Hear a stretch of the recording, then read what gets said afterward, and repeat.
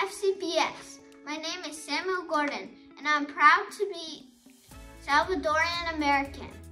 I'm so excited to celebrate with you all month long, sharing the contribution and achievement of the local American American leaders. Starting strong this week, FCPS is proud to honor local leader and staff member David Guzman. David is an Army veteran and proud of his Guatemalan roots. His greatest achievement is having the opportunity to serve his country in the Army. Today, David serves as FCPS purchasing agent. He works hard to get the goods and services we need. When working, he takes every opportunity.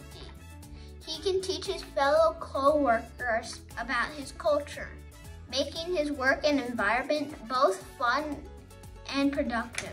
Outside of his work role, you can find David training for a marathon, playing his guitar, or practicing his photographic skills. He really doesn't, oh, I don't know what I'm gonna do when I'm older yet, but learning the things David's accomplishing when I, sure does give me some ideas for my own future.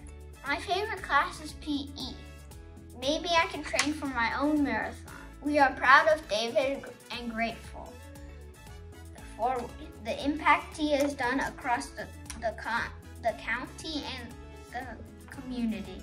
Together we celebrate que somos FCPS.